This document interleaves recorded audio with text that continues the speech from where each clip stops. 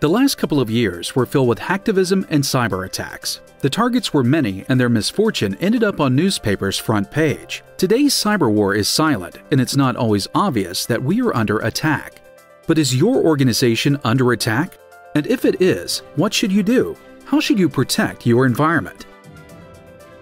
This is the main focus of the Check Point 2013 Security Report available at checkpoint.com. This video summarizes the key findings of the report and Check Point's recommendations on how to fight the modern cyber war.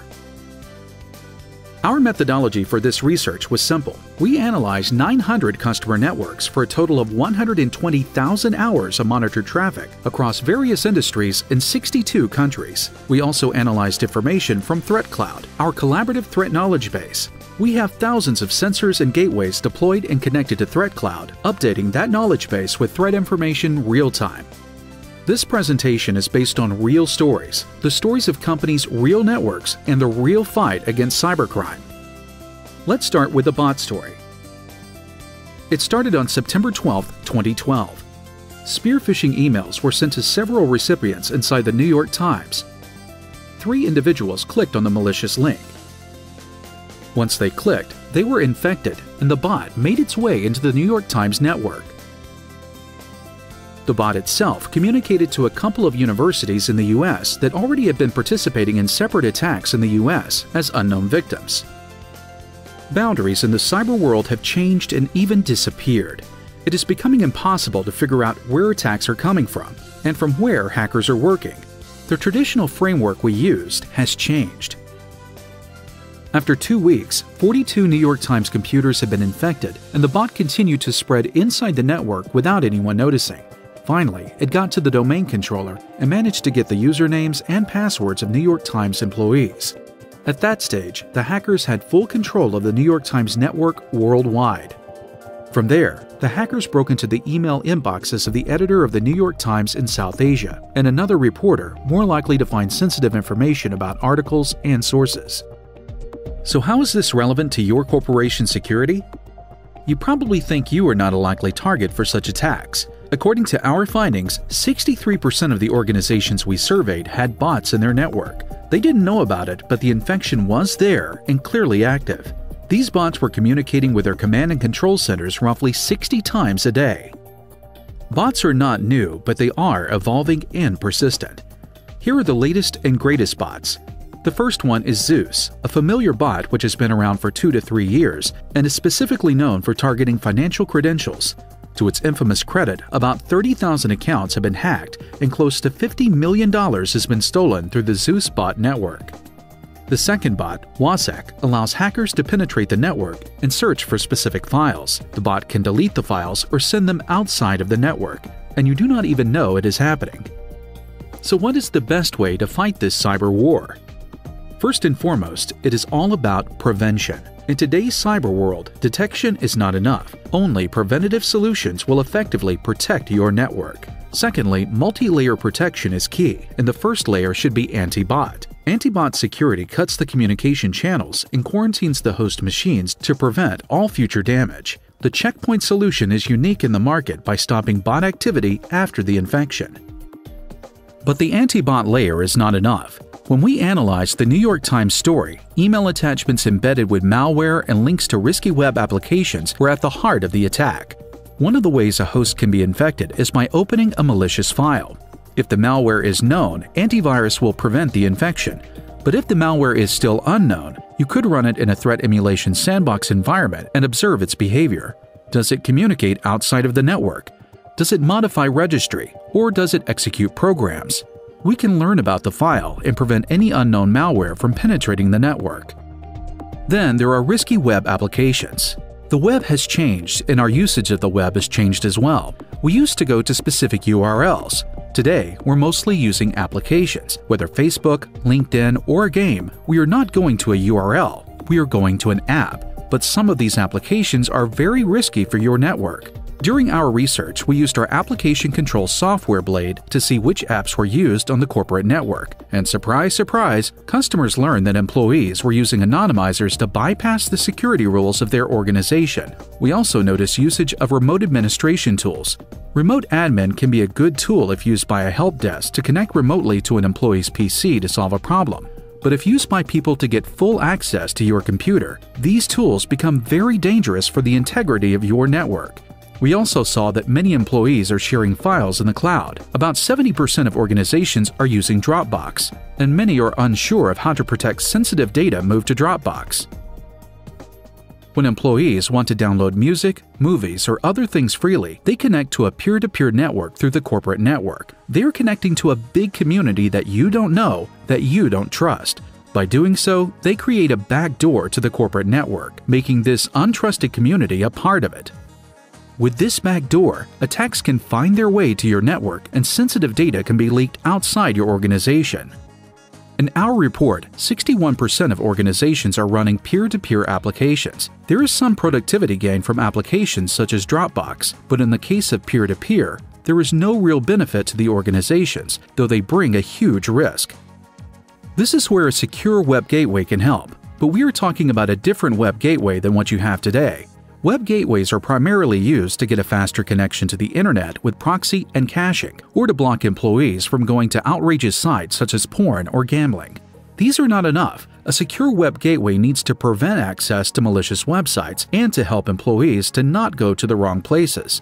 Our report shows that 75% of researched organizations access bad sites on a regular basis. It is time for a next generation secure web gateway. A secure web gateway should include an effective URL filtering that is updated regularly from a threat knowledge base like ThreatCloud, Check Point First Collaborative Threat Knowledge Base, with information on sites used by botnets. It also needs to include application control. Check Point today has the largest coverage of applications and the most comprehensive solution to secure the web, which is a combination of a URL and then application control in one single policy. Now let's go back to external threats and attacks specifically SQL injections. A specific attack occurred in Italy roughly from July to October 2012. The target was a university, and more particularly, its web servers. They saw roughly 6,000 attacks on their web servers, with 4,000 of them happening in two days. Hackers tried to penetrate an application by exploiting a vulnerability, then injected SQL code and gained access to the database. In most cases, the ability to use SQL injection is based on the fact that there is vulnerability inside an application, and most of the applications in the world have vulnerability. It takes time, but once hackers find it, they are inside. Once again, can it happen to your organization? Our research shows that 53% of organizations have unpatched systems or systems with vulnerabilities. 5,000 vulnerabilities are discovered from commercial vendors such as Microsoft, Oracle, and Adobe every year. There is a way to stay protected during the critical periods of vulnerability between patches. First, have a firewall as basic access prevention.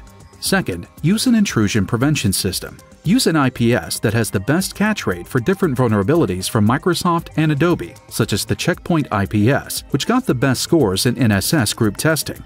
If your network is behind that IPS, even if it is not patched, there is a good chance that the IPS will block the exploit and the attack from entering your systems.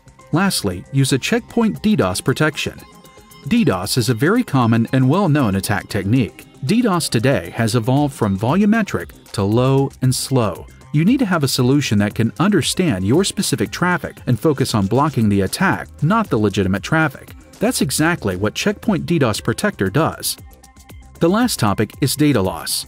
Most of the data losses we have seen lately are caused by employee mistakes. Whether data resides in your network, in your systems, inside your mobile devices, laptops, or smartphones, you need to protect it. So here as well, there is a need for multi-layer protection.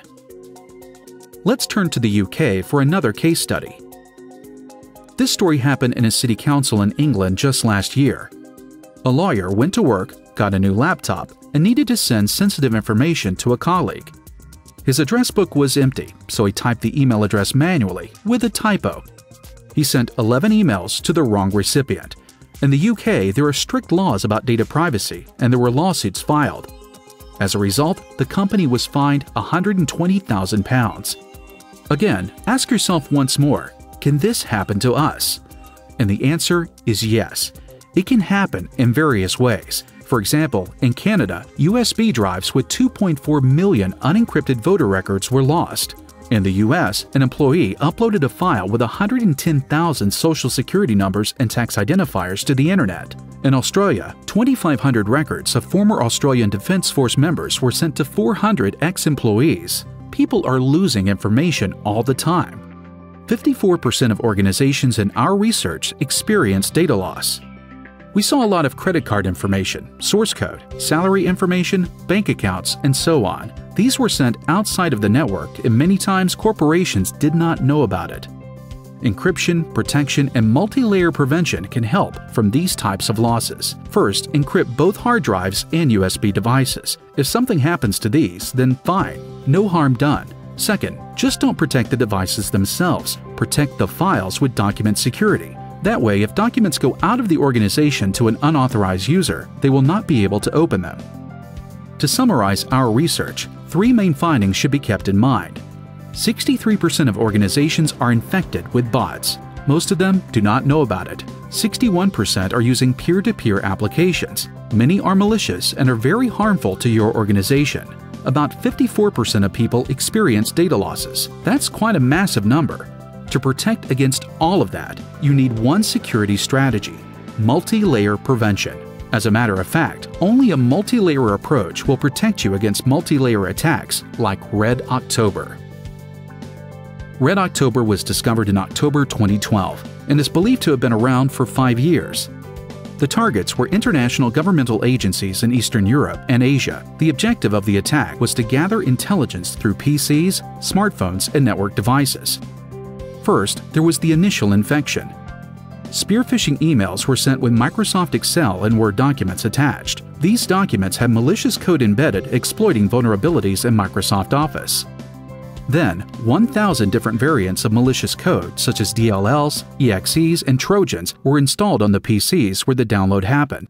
Once the bots were installed, they started communicating to 60 command and control centers around the world. The hackers constantly modified the malicious code and made it undetectable by traditional antivirus systems. If we look at the various components of this attack, we can see that IPS could have prevented the successful exploit of Microsoft vulnerabilities and therefore blocked the malicious downloads. And if the documents were opened, threat emulation could have assessed them in a sandbox environment to observe their malicious behavior before infecting the network. Finally, if bots were successfully installed, anti-bot technology could have stopped their communication to the 60 command and control centers. But this was not the end of Red October. Phase 2 installed spy modules into specific machines within the target's networks. These spy modules were meant to steal data that they encrypted and sent to the command and control servers. All of this is normally detected and prevented with antivirus. In addition, when specific data such as emails and attachments are targets, document security is key so that any unauthorized individual getting access to a protected document will never be able to open it. If the spy modules did not find the confidential data they were looking for on the infected PCs, they could steal data from smartphones that connected to the infected PCs. With stored contact information, call and browsing history, emails, and SMS, mobile security is a must. The estimated damage from the Red October attack is 5 terabytes of stolen confidential information. This multi vector attack is a perfect illustration of modern day threats and is, unfortunately, by no means an isolated case. Only a multi layer threat prevention strategy and solution can help corporations avoid being the victims of such attacks. The layers should include IPS, antivirus, anti bot, threat emulation, document security, and mobile protection. Check Point multi-layer security includes all of these security applications and more, consolidating all aspects of security and providing unprecedented visibility and control of your network security infrastructure. In addition, Check Point enables you to manage all gateways from a single location for ease of use and greater visibility. Finally, Check Point gateways are connected to Check Point Threat Cloud, a real-time security intelligence knowledge base that updates gateways with new malware, attacks, and bot information for up to the second protection. ThreatCloud is dynamically updated from a worldwide network of threat sensors and has a repository of more than 300,000 malicious websites, over 250 million bot addresses, and over 4.5 million malware signatures. With this security architecture implemented on your network, you will be well positioned to protect your organization against known and unknown malware and know what is lurking inside your network at any time. Thank you.